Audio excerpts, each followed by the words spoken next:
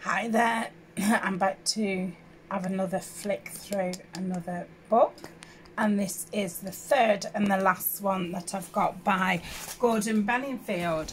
Um, if you've seen the other two today, we've done the poems of the countryside and we've done Beningfield's woodlands and this is green and pleasant land country of an Englishman's countryside. So I'm just going to flip. So this is the second one. Um, this came out first and then this one came came out second. So it's illustrations taken from all the previous um, Beningfield's titles. And again it's 128 pages. I bought this from Amazon UK and at the time it was £2.50 a four and that was with postage. Crazy. Okay so it's going to be the same size as the last one and that's 10 inches wide by just under seven. So let's have have a look in in here. Um again the the dust cover on this is a little bit creased and that but that really doesn't doesn't matter to me um got some lovely pencil drawings here of, of some thistles. Let's um, let's take that off because it's obviously shining in in the light. So I'll have a look. Got lots of tells you who's wrote the poems. So I've got some horses here and some cows in the background. Nice circle one there. And like in the other one what I said you can always cut these circles out back it with something and that could be in the center of your signature. I think that would be fabulous. Or it could go on the front of a, a cover. You could fold that one in half cut it out and have it as some kind of tuck see that's that one. That's beautiful. So again like we said in the other these pages folded in half and sewn in. So on one side you'd see that and on the other side you'd see that and then you would see that and you would see that. Like I say I'd probably cut uh, the white off but I mean you could always put if you didn't put washi tape on or because then you would make it quite small you could always oh no if you back that you'd lose you'd lose the image wouldn't you? I don't know could you put a frame round there? It, for me obviously I'm, I'm not a great lover of uh, white. So yeah I'm sure you could come up with something to to make it make it bigger. Another lovely circle there can cut these elements out. Got the nice wren. So yeah, I'd probably use that as a journal card. You're going to lose some of, some of the back images. Obviously you can use all the all the poetry. Great for backgrounds of, of things. And it's great great paper if there's any that you're not that keen on, you know, collage over the top of it because it's really nice paper nice blossoms. Oh, another circle. That would look fabulous, wouldn't it, in the in the middle of a signature. Oh, look at these. We've seen this picture in the um, the woodlands one. We had the massive um, one of that. Beautiful. It's nice to have that smaller one. You could make that into a notebook cover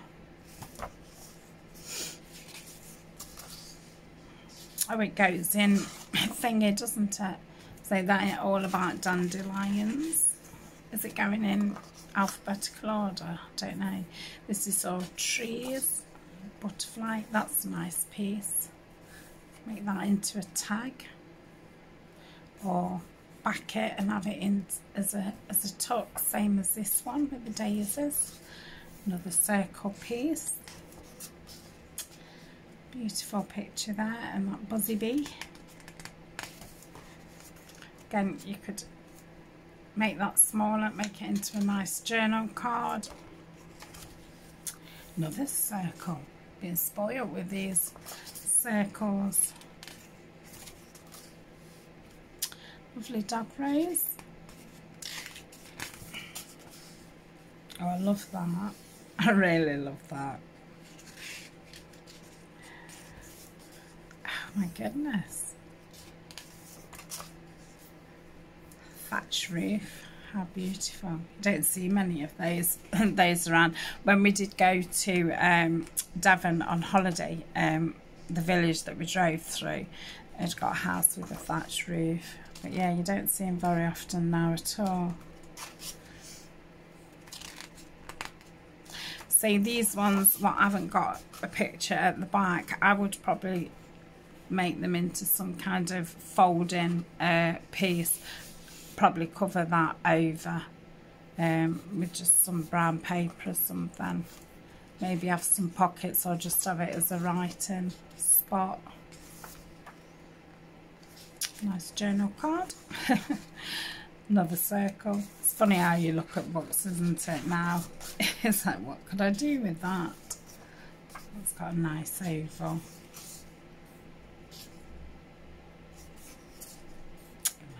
That sky. Beautiful. That's very nice.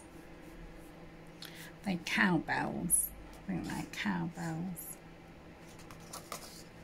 Oh, that's lovely. The wagon maker.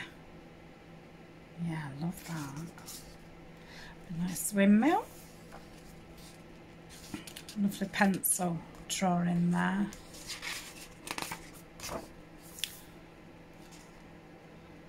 Nice horse.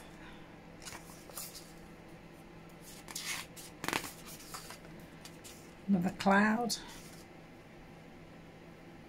Lovely colours, aren't they? oh, look at that one.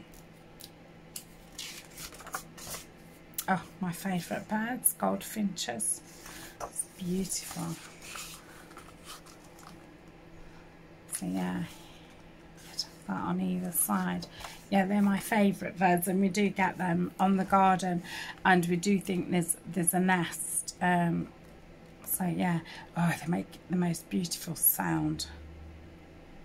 Stunning absolutely stunning.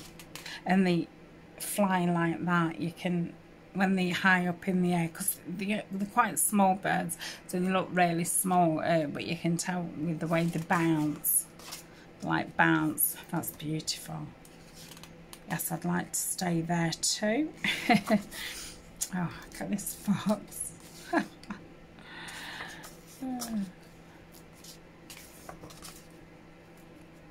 It's very nice. Very nice in a harvest um, kind of journal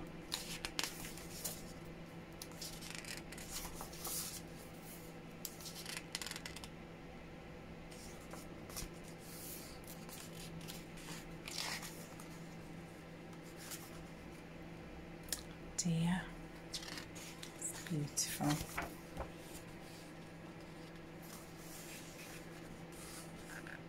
Yeah, that'd be very nice, wouldn't it? With some kind of tuck. Beautiful owl.